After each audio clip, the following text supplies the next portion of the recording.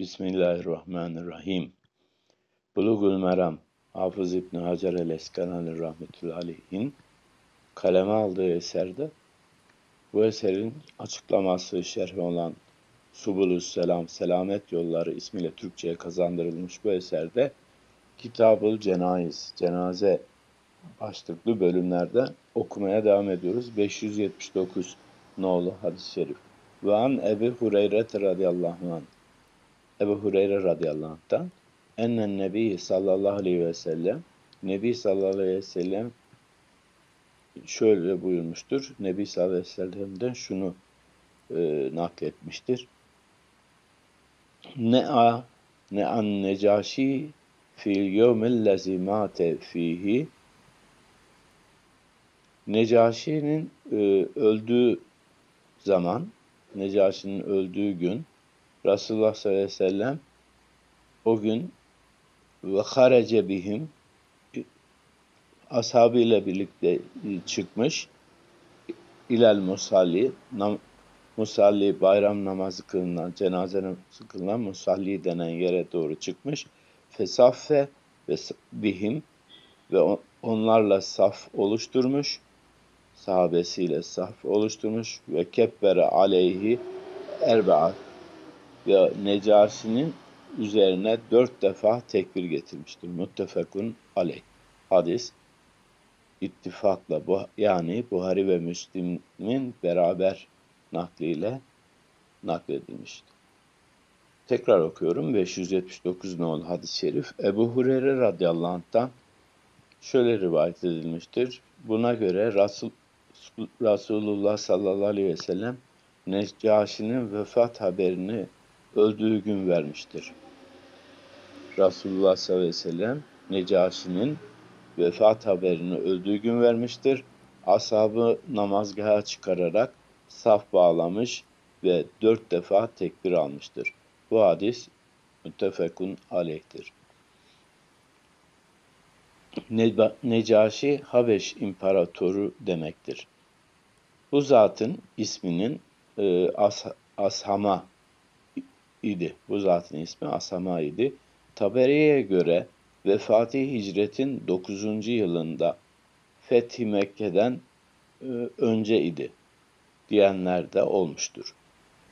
Musalladan murat, musalladan murat ya bayram namazlarını kıldığı yahut cenaze namazı için tahsis buyurduğu yer demektir. Hadis-i şerifte e, nain, ölüm haberini bildir, bildiren bir isim olduğuna, nain, ölüm haberini bildiren bir isim olduğuna ve bunun sırf ilan için yapılabileceğine delalet olduğu gibi gaibin üzerine bu hadiste e, ins sadece insanlara ilan için yani kibir, övünme değil sadece amaç insanlara bir e, zatın vefatını haber için e, cenaze namazını ölüm haberini e, ilan edeceğine bu hadis delildir. Daha önce onu yasaklayan hadislerdeki yasağın illeti insanlara karşı e, öleni, övücü, e, insanlara karşı onun e, üstünlüğünü gösterici amaçlı yani nefsi bir amaç taşıyan ilan değil, haber verme amaçlı ilanın doğru olduğunu buradan bu hadisten delil olarak anlaşılır olduğunu söylüyor hadisi açıklayan. E, ve bu hadisten bir şey daha cena uzak yerdeki bir kişinin, gayip bir kişinin, olmayan bir kişinin cenaze namazının kılınmasının meşru olduğuna da delalet eder. Ulema bu hususta itilaf etmiş ve ortaya bu olaydan birkaç kavil çıkmışsa da bu kaviller şunlardır. 1. Gaibin cenaze namazını kılmak mutlak surette caiz ve meşrudur. Gaib yani uzakta hazırda olmayan bir kişinin cenaze namazı kılınır mını her şekilde hiçbir şart olmadan e, meşru olduğu, caiz olduğunu söyleyen İmam Şafii ve İmam Ahmet bin Hanbel rahmetullahi aleyhim ve başka diğer bazı zevatın mezhebi budur. 2.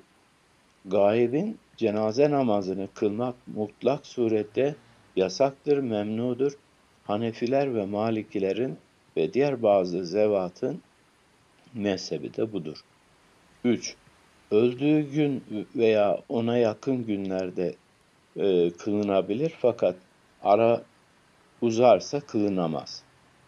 Dördüncü e, fikir, gayip kıble tarafında ise namazı kılınır, değilse kılınmaz. Bu iki kavlin veçi Necaşi kıssası üzerinde daha durarak ona bağlamaktadır. Gaibin cenazesi kılınamaz diyenler Necaşi'nin cenaze namazı Resulullah sallallahu aleyhi ve selleme mahsustur demişlerdir. Beşinci fikir Necaşi gibi vefat ettiği yerde cenaze namazı kılınmayanlar için e, gaibane cenaze namazı kılmak caizdir. Zira Necaşi'nin memleketi ahalisi henüz Müslüman olmamışlardı. Şeyhülislam İbn Teymiye diyor hadisi açıklamasında e, bu bu kavli ihtiyaç ede, ediyor. Musannif e, Fethül Bari'de yani Hafız İbn Hacer rahmetullahi aleyh Fethül Bari'de bu kavli Hattabi'den nakletmektedir. E, Rüyani dahi bunu beğenmiş ve sonra şöyle demiştir. Bu mu muhtemeldir ki şu, şu var ki ben haberlerin hiçbirinde Necaşi'nin memleketinde kendisine bir kimsenin cenaze namazı kılmadığına vakıf olamadım demiştir. Bu hadis e, cami içinde cenaze namazı kılmanın mek mekruh olduğuna kail olan Hanefiler ve Malikiler istitlal etmişlerdir. Yani Peygamberimizin ayrı bir musallaya çıkışından camide cenaze namazı kılmanın doğru olmadığını e, söylemişlerdi. Çünkü Resulullah Ekrem sallallahu aleyhi ve sellem bu iş için dışarıya hatta ta namazgaha çıkmıştır. Vaka Hanefilerden bazıları e, cenaze dışarıda ise cami içinden ona namazda kılabilir demişlerse de El Hulasa Nam kitapta ondan naklen Fethül Kadir'de bunu e, mutlak surette yani ister cenazeyle cemaatin ikisi de cami içinde olsun, ister cenaze dışarıda, cemaat içeride olsun yahut imamlarla cemaatin bir kısmı dışarıda, geri kalansa içeride olsun veya imama cemaat dışarıda cenaze namaz, cenaze içeride bulunsun fark etmeksizin mekruh olduğu kaydedilmektedir. Yani bunun her şartta mekruh olduğu ifade edilmiştir. Ee, Fethül Kadir el-Hülasa'dan naklet. Hadis-i şerifte cenaze namazında saf teşkil etmenin meşru olduğuna delil vardır. İmam Buhari de bu kıssa hakkında Cabir radıyallahu anh'tan bir hadis tahriş etmiştir ki mezkur hadise göre Cabir radıyallahu anh'ın ikinci veya üçüncü safta olduğu anlaşılıyor. Hatta Buhari cenaze namazında imamın arkasında iki veya üç saf teşkil edenler babı diye bir bab başlığı koymuştur. Bu hususta e, bir bab oluşturmuştur.